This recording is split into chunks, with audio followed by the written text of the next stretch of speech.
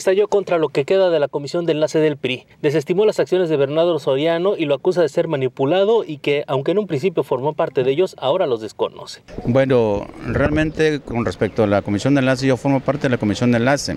Lo que pasa es que últimamente, aparte de estar ocupado eh, en algunas cuestiones, en algunas, este, algunos acuerdos que algunas personas al interior de la comisión de enlace han tomado, yo no, yo no comparto con esas decisiones, inclusive con la forma de tomar la oficina del partido, no, no estuve de acuerdo, pues no, y, realmente porque las oficinas del partido no tienen nada que ver con algunas este, aspiraciones particulares o personales de los compañeros este, que están en la comisión de enlace.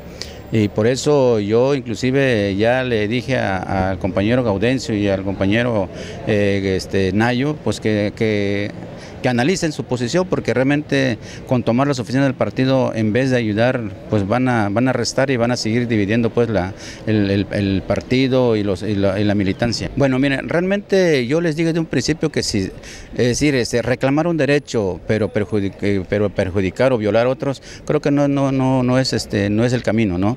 Y por lo que respecta pues al desconocimiento de, del, que ahorita está encargado del comité municipal, pues realmente él ya también terminó su, su periodo, pero realmente lo que queremos es que, que, la, que el comité estatal meta las manos y tome ya las cosas y ponga orden, ¿me entiendes? Y le advirtió a Bernardo Soriano que lo va a sacar con sus acompañantes de la sede del PRI y acusó de manipulado por el resto de la comisión de enlace al autonombrado encargado del comité del tricolor. Inclusive yo le, yo le aprovecho este, este medio para decirle de que le doy un término de aquí a mañana para que deje pues el comité, porque si no nosotros vamos a ir y vamos a desalojarlo, porque no no no no vamos a quedar con, en la oficina, sino simplemente queremos de que, que si es posible que deje solo la oficina, la oficina no tiene nada que ver ahí en el del comité municipal y que arreglemos nuestros asuntos, nuestras cosas internamente. Es que hay varios grupos dentro del partido, bueno, vamos a resolverlo. Creo que debemos de ser gente madura para poder resolver lo que lo que existe en el interior del partido, pero no de esa manera, pues, ¿no? Porque eso da mucho que decir. Ahí se ve la ambición, ahí se ve la ambición de cierta gente que está detrás de Nayo. Nayo, pues es un muchacho, es un muchacho, es un muchacho joven. Detrás de Nayo está Gaudencio López Solís, está también este eh, el profesor Ramón Herrera, está Fernando Dávila, bueno, están hasta personajes pues que por ahí también hay mano negra que mece la cuna, como dice dicho, pues no. Y la verdad, Nayo tiene buena intención, tiene, tiene pues este forma de poder llegar a ser presidente del partido, pero no en este momento, pues, y no es la forma para hacerlo.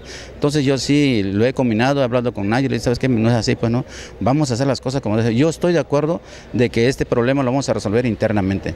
Creo que somos gente sensata y somos gente madura para poder hacerlo, pero que no nos utilicen, ¿sí? Es decir, no ganamos nada con hacer ese tipo de acciones porque ahí se está demostrando mostrando pues la poca madurez política que tenemos para resolver nuestros problemas. Sin embargo, de consumarse el desalojo este miércoles de los manifestantes y autonombrados comité municipal, se vislumbra más propicio que el dirigente estatal Héctor Mafud imponga la figura del delegado político externo, que es finalmente lo que no quiere nadie de estos grupos al interior del partido, que señaló de acéfalo en Tuxtepec Cecilio Betanzos y que además indicó de nefasto al emisario de Mafud Mafud si es que se da. Nosotros vamos a dialogar. Ya quedamos de que inclusive hace ratito dialogué con Audencio. Ya le digo con Audencio y me dijo que Audencio que vamos a platicar más en fondo, vamos a llamar también a, a Loyomasa, vamos a llamar a los actores para tratar de arreglar este problema, que creo que somos gente capaz de que lo que podemos hacer, porque te digo, si no, de este, ahora sí, a, Río Revuelta, ganancia pescadores, en esto puede venir un delegado, ¿eh? y lo puede hacer, ¿eh? porque con todas las facultades que tiene el comité estatal lo puede hacer, y vamos a quedar, después de tanto pelear para que seamos nosotros, a uno de nosotros, va a venir gente de fuera a poner orden. Está cabrón, está cabrón, pues. ¿sí? Aunque aceptó haber en su momento propuesto la manifestación, ahora no la comparte y señala que está desquebrajándose más el partido con estas acciones que beneficiarlo y advierte que mañana va por el famoso Nayo y que se acompaña, dice, de otros dirigentes regionales. Con imágenes, en Valle informó Iván Ortiz.